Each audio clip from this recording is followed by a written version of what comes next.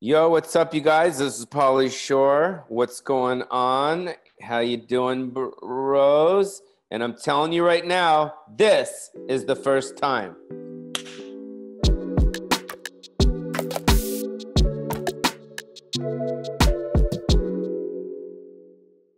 The first time that I performed stand up was September 28th, 1986. And my dad um, took me to a place called the Alley Cat Bistro in Culver City, which was a restaurant that just happened to be doing comedy that night.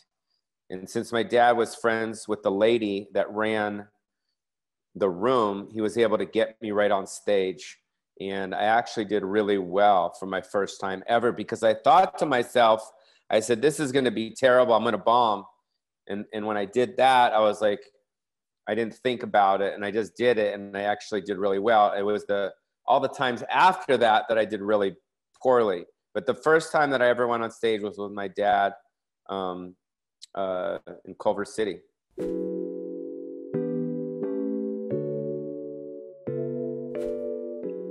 the first time that the Weasel stuff really hit was on MTV. It was June 3rd, 1990. And it was my opening show for Totally Pauly. And this is when I started doing the Weasel. And it was just kind of happened spontaneously. I was like, yo, check out this video. Gonna be made. Sure, bro. Oh, Billy Idol rock the cradle up.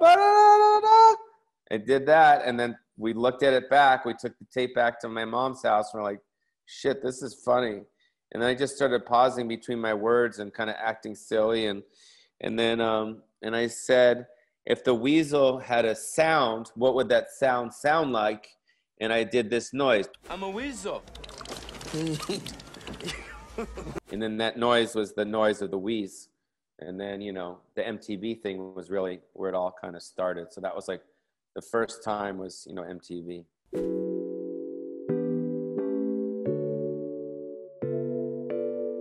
the first time i hosted an mtv spring break was i think it was the early 90s it was chilling with the wheeze and uh, this is after mtv's totally pauly been on the air for a while. And um, this is when mtv was very big down at spring break in Daytona. You guys. It's me. It's Pauly Shore. I'm here in the Boot Hill Saloon in Daytona Beach, just having a soda pop.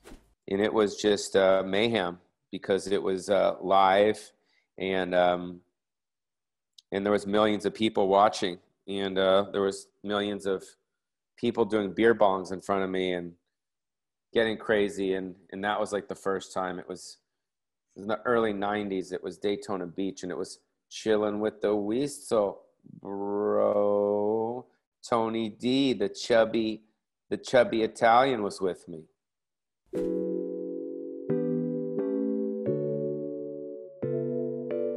The first time I released my own music video was when I had an album deal um, called The Future of America. And I had a song on there called Lisa Lisa, because I'm a stony, crusty dude with a mop on top. Your melon's fully tweaked, but I'll never stop. Stop trying to wheeze the nugs from coast to coast. The one, you know, you get the rest. Anyways, so we released it on MTV, and it was part of a, a special that I did called Lisa, Lisa, the one I adore. You're the one. You're my Lisa, my girl, the star of my own rock video.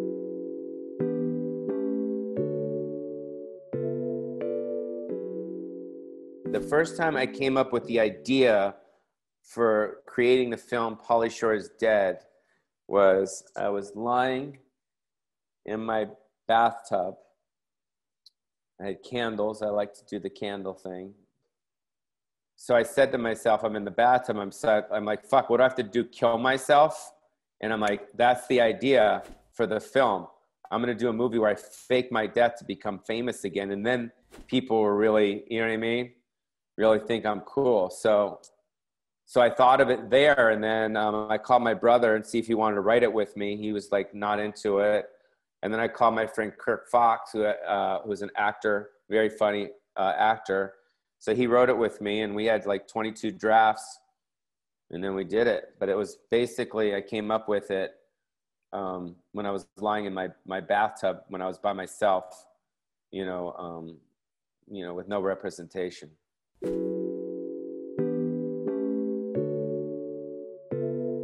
got a call from a good friend of mine named Jared Gatz, who used to uh, sell my movies at Disney. And then several years later, uh, he went over to Lionsgate, and um, Barry Brooker, who, who's uh, who runs Grindstone Media, they were Jared and him are close friends. They do a lot of business together. They were on the way to the Dodger game for the World Series. I think they're playing Boston. This is what they told me and Scott Clayton, who's the producer of Guest House, was talking to Barry, and he's from Australia. He's like, "Hey, mate, I would love Pauly Shaw to be in my movie, mate. I want him to play the police officer, mate." And they're like, "Okay." And Jared's like, "Well, I know Pauly." So they asked me to be the police officer, which is Eric Griffin's role. And um, and then Sam Macaroni, uh, he had seen me on Joe Rogan's podcast and he was like, "Why isn't Pauly Shore starring in movies? Like this guy should be starring in movies. Like he shouldn't be a small role in my movie."